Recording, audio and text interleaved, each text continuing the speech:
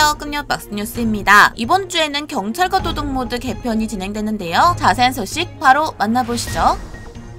경찰과 도둑 모드의 개편이 진행됩니다. 우선적으로 경찰과 도둑 그리고 연습 ladder에 적용된다고 하는데요. 어떤 부분이 어떻게 바뀌는지는 지난 쪼둥이 속보 영상에 자세히 나와 있으니 아직 안 보신 분들은 꼭 보고 오시기 바랍니다. 이번 개편과 관련해서 많은 유저분들이 긍정적인 의견과 부정적인 의견을 전해왔다고 합니다. 좀비고등학교 운영진 측에서도 모든 의견을 지켜보고 있다고 하는데요. 개편된 모드에서는 기존의 스피디한 진행을 기반으로 한 컨트롤 승리 비중보다는 수싸움을 통한 전략 전략적인 승리가 핵심 열쇠가 될 것이라 생각하고 있다고 합니다. 기존의 공략이 완전히 바뀔 수 있지만 내부 테스트 결과 새로운 전략이 다양하게 나오는 것을 확인했고 이로써 훨씬 더 재밌는 경찰과 도둑 모드가 될 것이라고 확신했다고 합니다. 부정적으로 생각하고 있는 유저분들도 분명 많겠지만 업데이트 이후 플레이 소감 및 의견들을 검토해서 추가적으로 개선할 것을 약속했습니다. 앞으로의 ladder가 어떤 모습이 될지 기대가 되네요. 연구자 백설현 스킨 판매가 종료됩니다. 구매 예정인 분들은 서둘러서 점검 전까지 구매하시기 바랍니다. 7주년 기념 출석 체크 이벤트가 시작됩니다. 달콤한 디저트 악세사리들로 구성되어 있네요. 이번 출석은 다들 빠짐없이 잘 참여해서 꼭 갓선팩 대박 나자고요.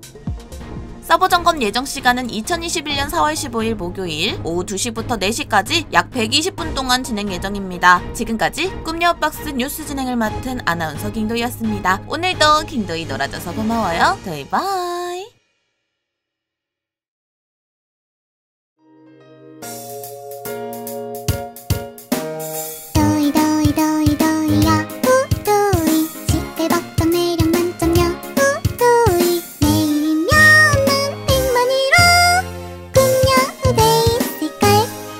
오늘도 김도희 놀아줘서 고마워요. 저희 바이.